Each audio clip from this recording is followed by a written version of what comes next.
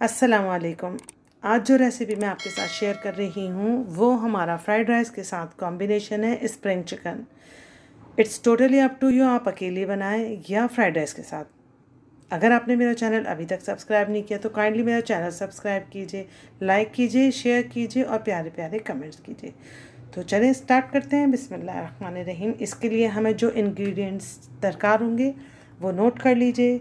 ये है four tablespoon hot sauce six tablespoon lemon juice one tablespoon soya sauce four tablespoon vinegar two eggs चाहिए one and half teaspoon हमें salt चाहिए और two and half teaspoon हमें red chilli pepper चाहिए और ये one cup हमको चाहिए मैदा ऑल पर्पस फ्लावर ये इसको मैंने मिक्स कर लिया है पेस्ट को।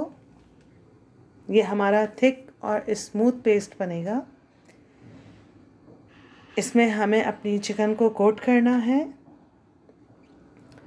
और ये आप नोट कर लीजिए कि ये रनी नहीं है और बहुत थिक नहीं है, क्योंकि अगर हम उसको फिर फ्राई करेंगे, अगर बहुत ज़्यादा थिक होगा तो वो निकल जाएगी कोटिंग ये आप देख लीजिए, ये हमारा अच्छा सा कोट हो गया है चिकन के ऊपर और काफ़ी क्रीमी सा पेस्ट होता है ये। अब हम इसको फ्राई कर लेते हैं।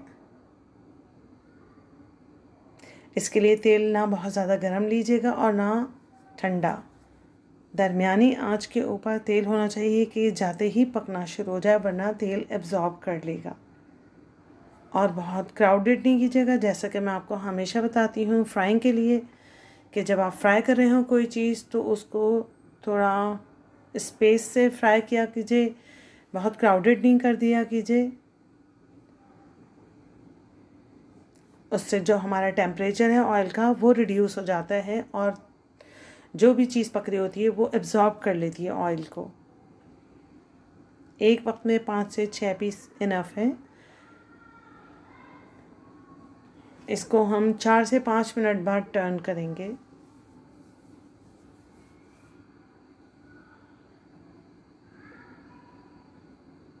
आज के लुक देख लीजिए, इस तरह से आएगी। ये हमारी बहुत ही लजीज, बहुत ही टेम्पटिंग स्प्रिंग चिकन रेडी है। बनाइए, खाइए और मुझे अपनी राय से ज़रूर आगाह कीजिएगा। दुआ में याद रखिएगा। अल्लाह ने